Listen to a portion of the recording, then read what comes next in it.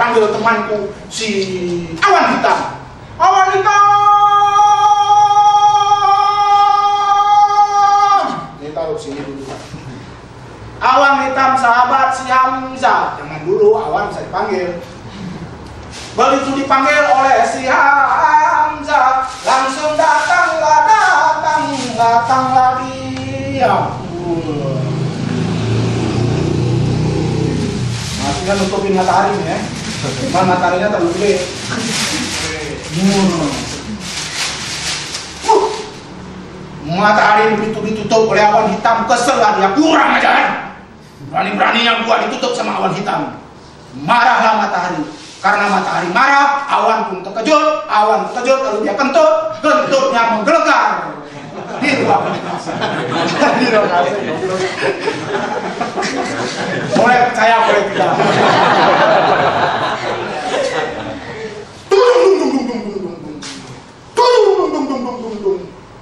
Karena kentut si awan hitam begitu kuat memekakkan telinga si burung elam.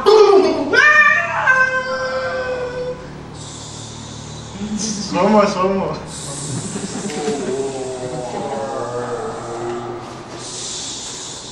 tinggi pelaburannya ya belum jatuh belum lagi jatuh pokoknya terus sampai ke bawah oh, kita sambung lagi kita sambung lagi di sini.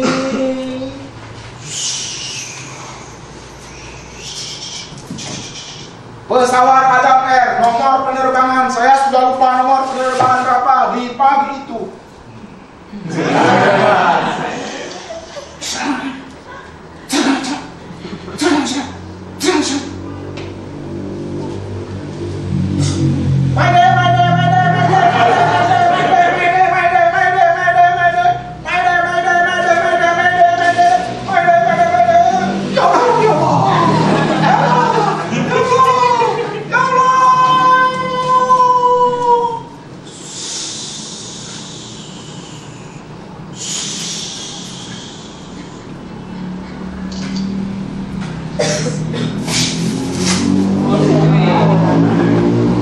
yang yang ke- ketangkep apa yang dia yang ke apa?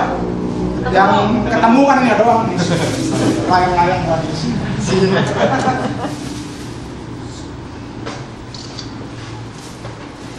tampil ke bawah laut ini kita. Eh dari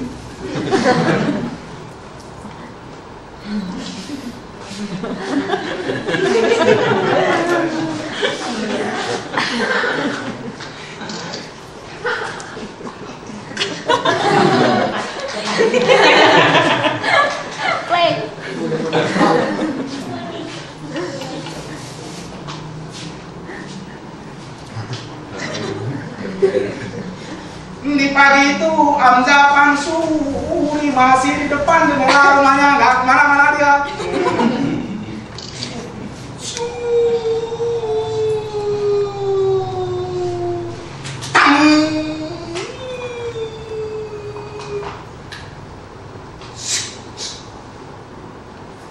Pura-pura jatuh ini yang repot nih terus sini deh nah.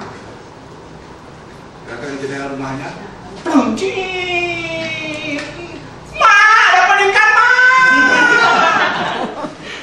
Pagi itu Hamzah suruh ketimbang rezeki. Ma, aku dapat ikan ma Mas Hamzah pagi itu sedang japot siap-siap mau masak tiba-tiba dikejutkan oleh teriakan anaknya Anaknya dapat ikan, heranlah heran, heranlah dia. Anakku, mana ikan anakku? Ini. Waduh, dari mana kau dapat ikan ini anakku? Tadi jatuh dari langit, Mak. Jatuh dari langit ini. Terima kasih, memang Tuhan kadang-kadang suka kali kasih rezeki yang kejut-kejut. Kita masak ikan salam ini pagi hari. Kita buat gulai. Nah. Itu ceritanya udah habis ya. Singkat saja cerita, akhirnya Hamzah Pansuri dan emaknya di pagi hari itu dapat ikan-ikan salam ikan dapat rezeki. Langsung ikannya dibersihin. Ini ikan dibersihin buntutnya. Dipotong-potong. Lalu dimasukkan di dalam panci. Siap dimasak.